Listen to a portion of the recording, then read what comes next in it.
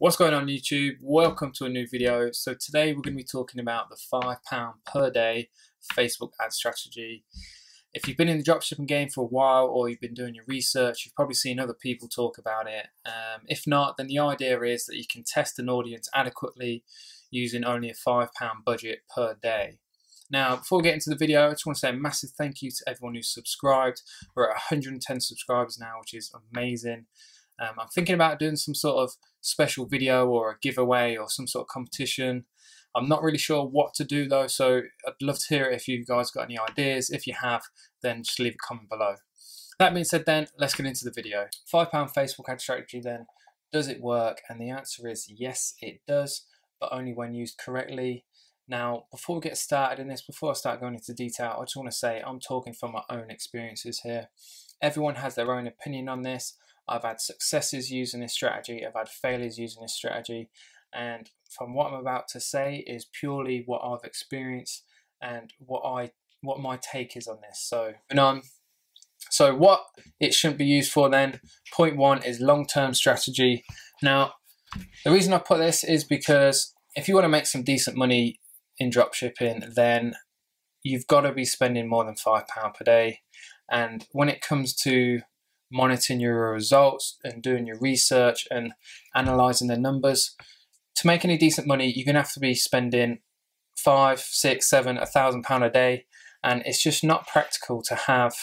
Well, let's say we're spending five hundred pound a day, you'll need a hundred ad sets, and it's just not practical to look through that many ad sets on a daily basis and work out what's going wrong or what's going right. So in terms of a long-term strategy and spending five pound per day, if I had a choice of having hundred ad sets at five pound per day or one ad set at five hundred pound a day, then I know which one I'm going to choose every time. And there's another reason behind this as well, and that is this is advice that comes from Facebook themselves, and that is that an ad set needs a minimum, a bare minimum of 50 conversions per week for your ad set to optimize efficiently. So if we're spending £5 per day and we need 50 conversions per week, that equals 7.14 conversions per day divided by £5 and it's about 70p per action. CPA is cost per action, so if your goal is purchases, then your cost per purchase needs to be at 70p. And if you're not achieving that, then your ad set is not going to be optimized and you're not going to be spending your money efficiently. So that's coming from Facebook themselves as well. That's not me saying that. That's what Facebook say. So it makes more sense to be spending enough money to hit that 50 conversions per week mark.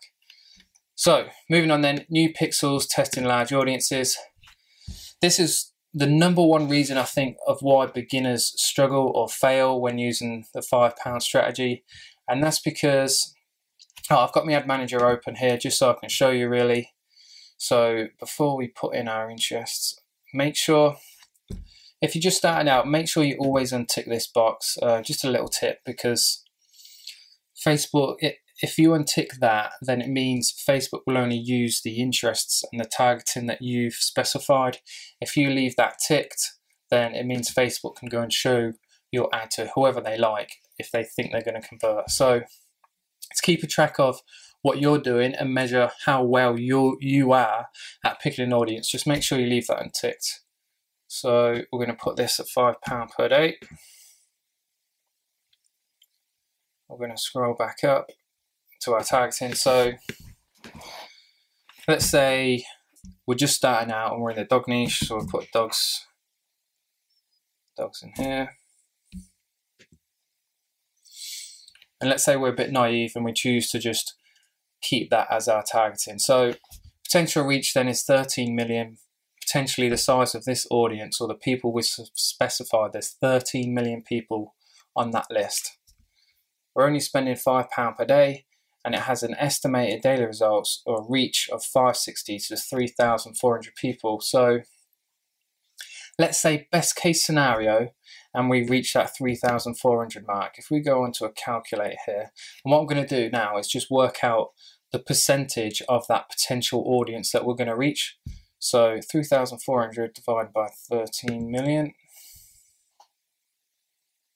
let's see, 3,400 divided by 13, 1, 2, 3, 1, 2, 3. Times that by 100 then. So 0.03% if we round that up. And to show an ad to 0.03% of an audience is just not an accurate representation of whether that's a good audience or not. If you're selling dog products to the dog niche, then there's going to be people in there that want to buy your product.